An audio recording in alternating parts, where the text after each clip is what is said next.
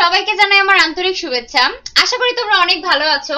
আজকের ক্লাসে আমি প্রথম শ্রেণির প্রাথমিক গণিত বইয়ের পৃষ্ঠা নং বারো নিয়ে আলোচনা করব। তাহলে চলো দেখা যায় পৃষ্ঠা বারোতে কি রয়েছে। দেখো, প্রথমে আমরা দেখতে পাচ্ছি, এখানে লেখা রয়েছে, ছবি গণনা করে পাশের সংখ্যায় গোল দাগ দি। অর্থাৎ দেখো আমরা আমাদের হাতের বা পাশে অনেকগুলো ছবি দেখতে পাচ্ছি। প্রতিটা বক্সে কয়টা করে ছবি আছে? দেখো, বা পাশের সেই ছবির সংখ্যা, এর উপর আমাদের গোল দাগ দিতে হবে। দেখি তো আমাদের একটা দেখো করেই দেখা আছে। প্রথমে আমরা কি দেখতে পাচ্ছি? কবুতর। বলো তো এখানে কয়টি কবুতর আছে? এক, দুই, তিন। এখানে মোট তিনটি কবুতর আছে।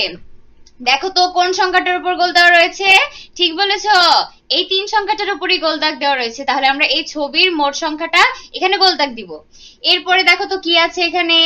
মোরগ! আমরা এখানে একটা মোরগ দেখতে পাচ্ছি। একটি মোরগই কিন্তু রয়েছে। তাহলে চলো দেখা যাক এখানে এক কোথায় রয়েছে। এই তো, একদম মাঝখানে আমরা এক দেখতে পাচ্ছি। এই একের উপর তাহলে আমরা এখন একটা গোল দাগ দিব। এরপরে দেখো তো কি রয়েছে? বাংলাদেশের জাতীয় পাখি, দোয়েল। বলো তো এখানে কয়টি দোয়েল রয়েছে? ঠিক বলেছ, এখানে মোট এক, দুই, তিন, চার, চারটি দোয়েল রয়েছে। দেখি তো, আমাদের বা পাশ, আমাদের ডান পাশে চার সংখ্যাটা কোথায় রয়েছে? এই তো, আমরা এখানে চার সংখ্যাটি দেখতে পাচ্ছি। আমরা এই চারের উপর একটা গোল দাগ দিব। এরপরে দেখো তোমরা কি দেখতে পাচ্ছি? মুরগি। বলো তো এখানে কয়টি মুরগি রয়েছে? ঠিক বলেছ। এখানে মোট দুইটি মুরগি রয়েছে। এক, দুই। এবার দেখি তো আমাদের দুই সংখ্যাটা কোথায় রয়েছে? সবার প্রথমে আমরা দুইটা দেখতে পাচ্ছি। তাহলে দুইয়ের উপর আমরা একটা গোল দাগ দিব। এরপরে দেখো তো আমরা এখানে কি দেখতে পাচ্ছি? কাক।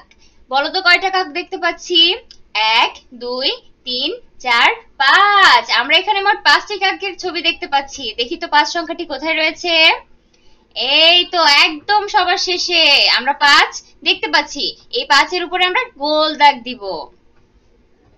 ছবিতে মোট কয়টা সংখ্যা আছে? এভাবে গুনে তোমরা সংখ্যাতে গোল দাগ দিবে।